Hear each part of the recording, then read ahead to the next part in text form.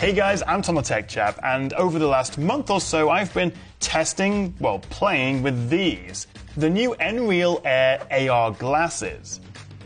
Now, a big thank you to Nreal and also EE, who are their exclusive partner here in the UK, for teaming up with me on this video, although, as always, all opinions are my own. These really are something quite special, whether you're watching videos of movies, gaming, exercising, getting some work done with multiple mixed reality tabs open. These glasses basically give you a massive 130 inch screen from the equivalent of 3 meters away and that's superimposed over the top of what you're actually seeing in the real world. So this is proper augmented reality, or AR. Although you can also pop on these blackout shades, or what they call light shields, if you want to fully immerse yourself in a slightly more VR experience and block out the outside world. Now I have to tell you, filming AR glasses is very tricky. My friend Ben Geskin actually gave me a few tips, and while you can make video recordings within the app that saves to your phone, actually capturing what it looks like in reality is tough, to say the least, but hopefully this all gives you an idea.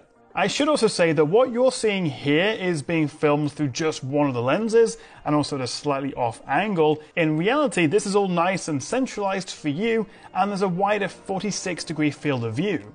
So it really is like you're sitting close to a big cinema screen. And it's a 3840 by 1080 resolution, so full HD per eye, OLED screen.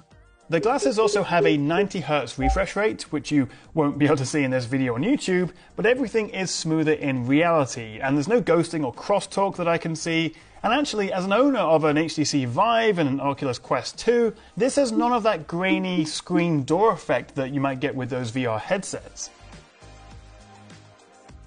There's also two tracking modes, one where the screen stays fixed within your 3D augmented world so you can look away from it and it disappears, or the other mode that follows your head movement and keeps the augmented reality front and center wherever you look. The Nreal Air is a lot more like a Microsoft HoloLens than a Oculus Quest or a Vive. So how does this all work? Well, you simply connect them up to your phone via the bundled USB-C cable and then download the Nebula app from Nreal.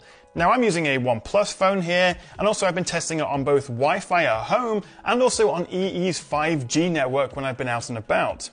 So all you do is fire up the app and then you can select between two modes, aircasting and MR space.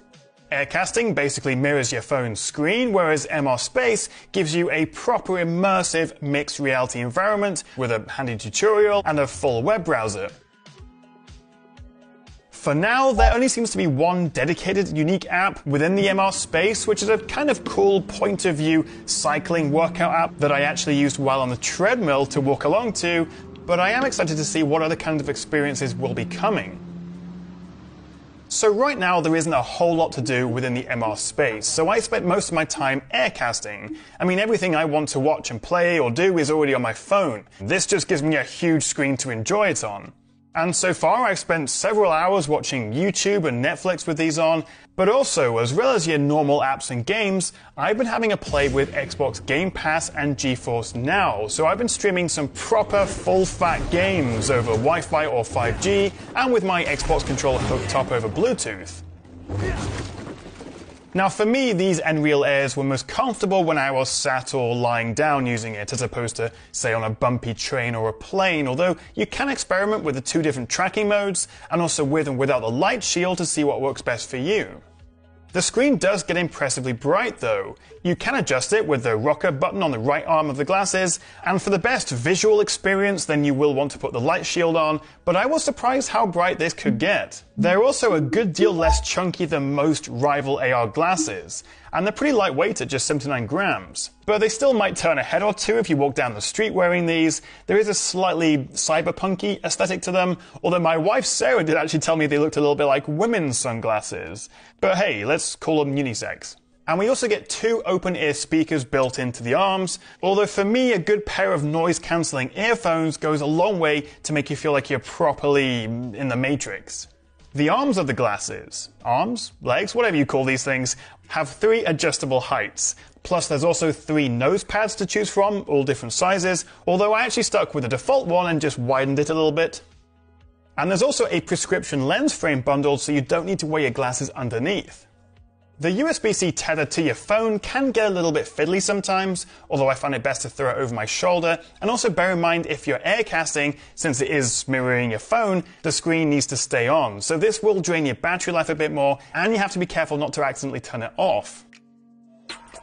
I tell you what, I've been having a lot of fun with these things, and everyone who's tried them is pretty blown away by the experience.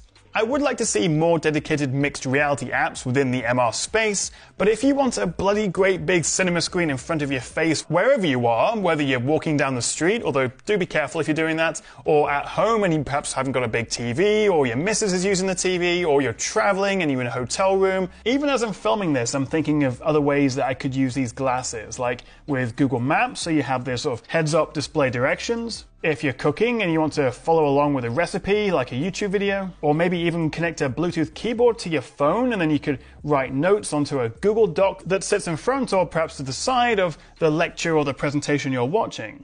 Whatever you fancy, and whether you are gaming or checking emails or watching some TV, well, these are definitely worth having a look at. If you are interested, in the UK they are exclusively available from EE and they will cost you £399.99 outright, or you can pay monthly and spread the cost out. But what do you reckon? How would you use a pair of these Nreal Airs if you had them right now? Let me know in the comments below. Thank you so much for watching, guys. If you enjoyed the video, then a cheeky little like and subscribe would be very much appreciated, and I'll catch you next time right here on the Tech Chap.